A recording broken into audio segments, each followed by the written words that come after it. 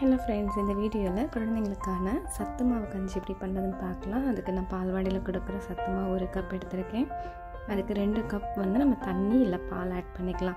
நான் ஒரு கப் வந்து தண்ணி ஒரு கப் வந்து காய்ச்சி ஆற வச்ச பால் எடுத்திருக்கேன். எல்லாம் நல்லா ஆட் பண்ணிவிட்டு நம்ம கட்டிப்படாமல் அதை நல்லா கரைச்சிக்கணும். அதில் ஒரு பிஞ்ச் ஆஃப் வந்து சால்ட் ஆட் பண்ணிக்கலாம்.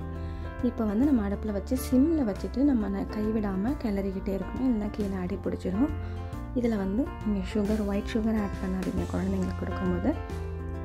அதுக்கு பதிலாக வெல்லம் ஆர் ப்ரௌன் சுகர் ஆட் பண்ணிக்கலாம். ஆல்ரெடி அந்த பால்வாடியில் கொடுக்குற சத்து மாவில் வந்து சுகர் இருக்கும்.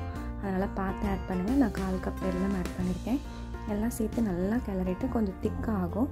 அந்த டைமில் வந்து நம்ம கால் கப் வந்து துருவன தேங்காய் ஆட் பண்ணிக்கலாம். நட்ஸ் வேணும்னா ஆட் பண்ணிக்கலாம். நான் முந்திரியை வந்து நல்லா சாப் பண்ணி ஆட் பண்ணியிருக்கேன் துருவி போட்டிருக்கேன்.